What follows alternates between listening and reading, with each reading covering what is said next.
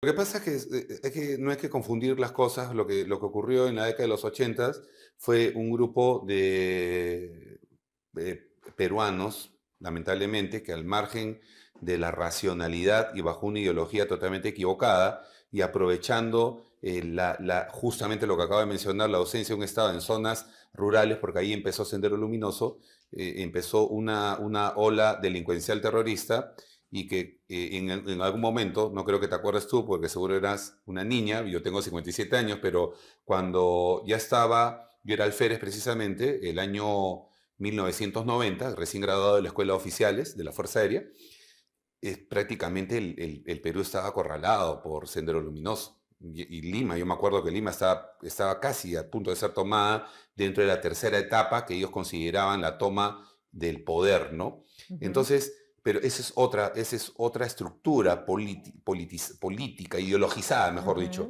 En este caso, estamos hablando de delincuentes, de bandas organizadas, criminales, mafias, a las cuales de- con una inoperancia absoluta del Estado, no se está haciendo nada, solamente medidas paliativas.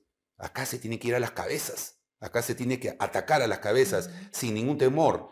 Tren de Aragua, mira, eh, na- na- nadie menciona el tren de Aragua porque los políticos, los dirigentes tienen miedo. O sea, esta persona que está acá, académica, como dicen algunos, ¿no? No me va a temblar ni, un, ni una pestaña en hacer, hacer cumplir lo que corresponda.